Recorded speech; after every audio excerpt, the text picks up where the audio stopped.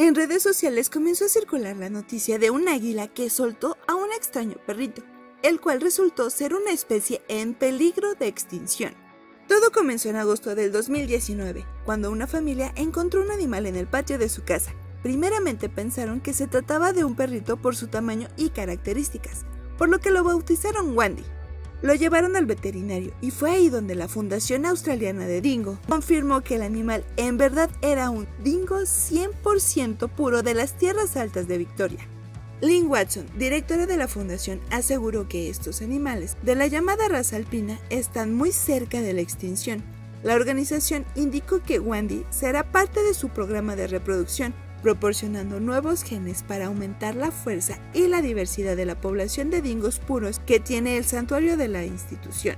El dingo, Canis lupus dingo, es una subespecie de lobo que habita en el norte de Australia y sureste de Asia. Es comúnmente descrito como un perro salvaje australiano.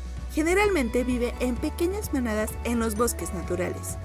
Los dingos son el resultado del cruce con perros introducidos por los europeos, por lo que la raza pura de dingos está en declive. Cabe recordar que a principios del siglo XX, la tercera parte de los dingos eran cruce de dingo y perros domésticos. Debido a la baja población de esta subespecie, se considera inevitable su extinción.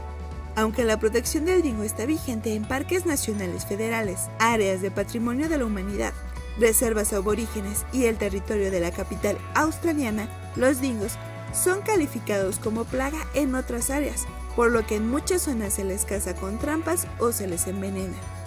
Al ser muy tranquilos, los dingos son más fáciles de domesticar que los lobos del hemisferio norte. Los cachorros de dingo solo están disponibles en Australia y es ilegal exportarlos. Pueden costar de 500 a 1000 dólares australianos. Tienen características tanto de lobos como de los perros modernos. Especialistas consideran que su apariencia es similar a la del antecesor de los canes actuales. Aunque los dingos son más sanos que la mayoría de perros domésticos y no tienen el característico olor a perro, se pueden volver muy problemáticos durante su ciclo anal de reproducción o celo, ya que los machos intentarán escapar para buscar pareja. Si el video te gustó dale me gusta, comenta y comparte. Si aún no te has suscrito a mi canal, hazlo, ya que diariamente subo materiales de distintas temáticas. Me despido, soy Jazmín García. Hasta la próxima.